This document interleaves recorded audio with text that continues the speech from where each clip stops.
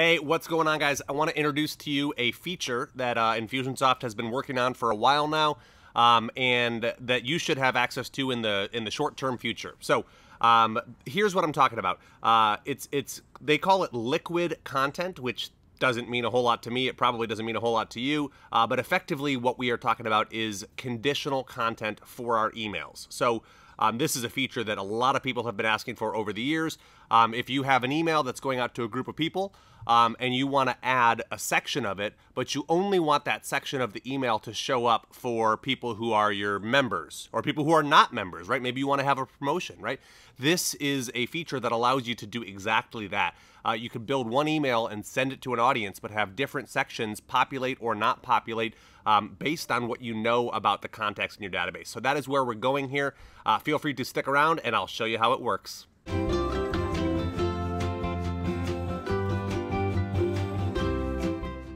Okay, so in the past, if you wanted to send a broadcast out, um, and you wanted different sections of your audience to get different messages, you would actually have to send different broadcasts. So you would, uh, you know, click Start Broadcast. You'd send the first one uh, to the first section of your audience, and then you would uh, come back in and choose Previously Sent, and uh, choose the template that you used for the first one, make the changes you wanted, and send it to the second audience, and then rinse and repeat for as many sections as you needed to send out. Obviously, this is um, monotonous, but also manual and, and can be uh, ripe with opportunities to make a mistake or to uh, have your sections overlap or, or what have you. Uh, and then if you wanted to use a campaign to do that, you would have to build a decision diamond.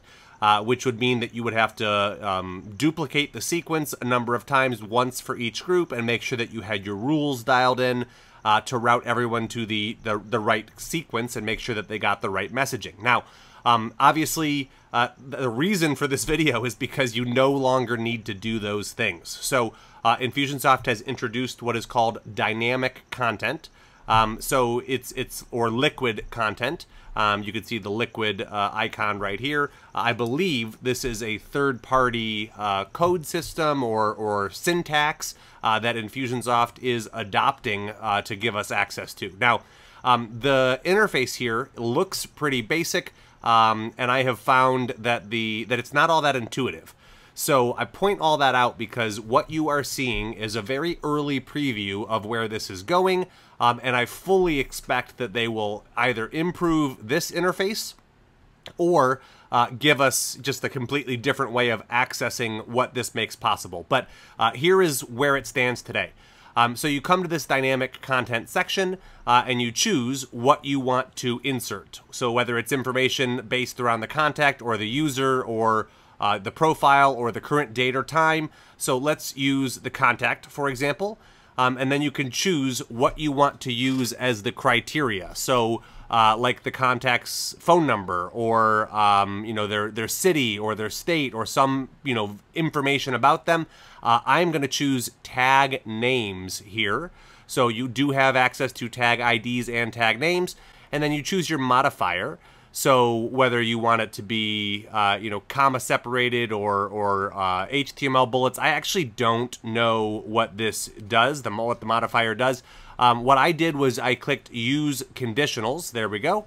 Um, and then we get to build a sentence or a logic statement similar to how we use the uh, decision diamond to build rules. So if the uh, contacts, uh, you know, tag name contains and then I can do OG member, right? Um, and then you can say else or else if and continue that sentence, and I'll say else. Uh, so that'll give me two options um, where it either contains OG member or it does not. And I believe else if would give us, uh, you know, the option to do further um, exceptions. So we click insert and what it does is it takes this and it translates it into the liquid syntax and gives us sort of the, the code, right? So you can see there are two content placeholders. If the contacts tags titles contains OG member, they get this section of content. So thanks for being an OG member.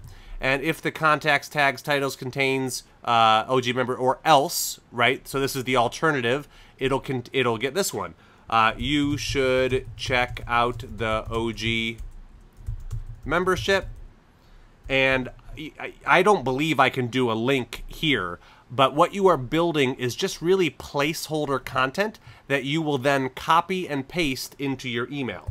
So I'll go ahead and copy that. Um, but before you leave this screen, if you have any you know questions about what you have built, there is a test function down here. Um, and this is a little counterintuitive, um, but it allows you to search for a contact um, and then test whether or not uh, or which variation they would get, right? So let's do Greg Jenkins. And I know I have a bunch of contacts here, so this won't do us a whole lot of good. But when you click test, uh, this one didn't or what wasn't an OG member. So you should check out the OG membership. Perfect, great. Uh, let's do another test. This time I'll use my friend Mark Penny, um, who I happen to know is an OG member. Uh, so his should say thanks for being an OG member. Uh, so there you have it. Those are the two, and I actually didn't have a period on that sentence. So uh, those are the two outcomes, and one or the other will be displayed. So I'm going to copy that and then jump into my broadcast. Um, so once you have built the logic statement and copied that content, the rest of it is pretty straightforward. You just go to the email builder, whether it's a broadcast or a campaign, um, and you paste it in just like you would. Now you can see it's got those placeholders. Um, and those, I don't mess with them. I wouldn't recommend touching them. Obviously, uh, the way that we have, you know, uh, merge merge syntax, and you don't want to mess with that. Uh, liquid content needs those parameters to tell it that, hey, this is not a normal sentence. Um, we're doing some complex logic here. So it's going to display either thanks for being an OG member, or you should check out the OG membership. And then you know, once you get into the email builder itself, you can further adjust that text or you can make one section a link um, and, and insert that there. Okay, so that is it as far as um, building it out into the email. Let's pop back over to the dynamic content tab um, and reset this a little bit. So um, I, like I said, I haven't used all of the features in here. I've really only been playing with it. So I believe this is sort of just a staging area um, for setting up the code uh, that you're eventually going to use. I think long term they will, well, I think short term they'll improve this interface. And then I think long term they'll probably give us like an option to directly merge this in the way you can details about the contact or about the owner or about the date, right?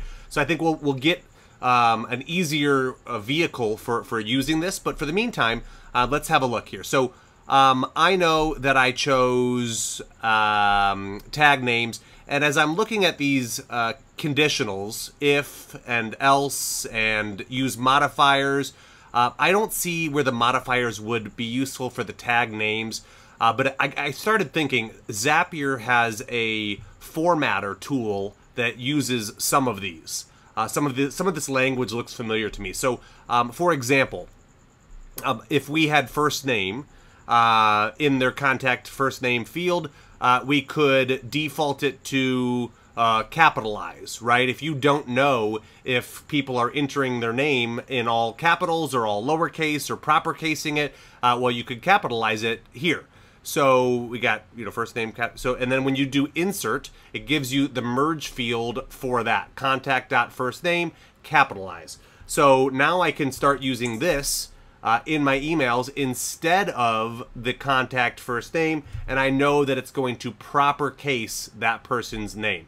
So that's one example here. Uh, again, you can also, it looks like, um, strip HTML, turn text into HTML, uh, URL encode, uh, prepend or append. Like there's just uh, there's just a lot of opportunity and flexibility here. Um, I honestly haven't wrapped my head around all of this. I'm just excited by what is coming.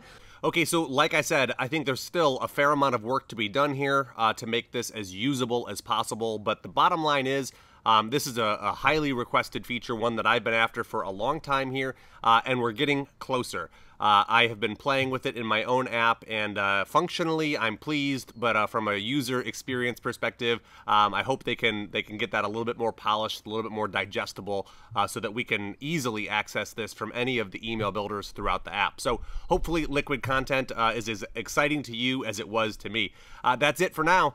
take care, guys. See ya.